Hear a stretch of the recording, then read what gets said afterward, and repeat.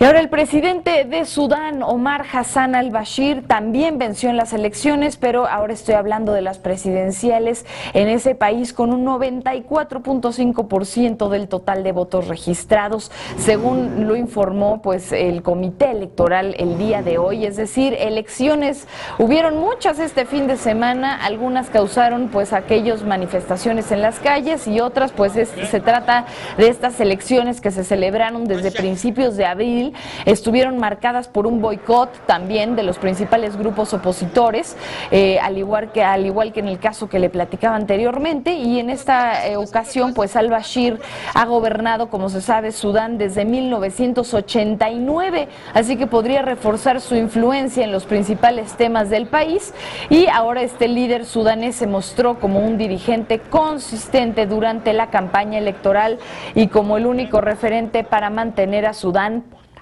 alejada de la inestabilidad que ha marcado a los países vecinos tras el fracaso de la primavera árabe en 2011. Te invitamos a seguir cuestionando la información con los siguientes videos.